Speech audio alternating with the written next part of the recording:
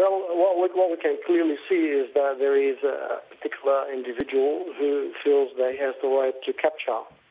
a, a testimony of faith that is, is, does not belong to him, that actually belongs to a great uh, great civilization and a great uh, faith, and uh, he is trying probably to give some sort of a religious image to a criminal act that he has decided to make on his own. And in fact, he alone stands responsible uh, for the despicable act that he's actually uh, engaging in.